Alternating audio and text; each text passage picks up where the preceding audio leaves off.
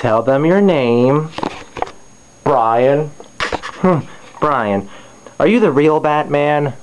No. No, no. Then why do you dress up like him? Hmm?